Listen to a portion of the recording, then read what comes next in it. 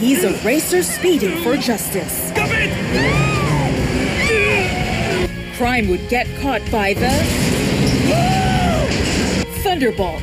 Tuesday, 8 p.m. on G Flix. Keeping it good.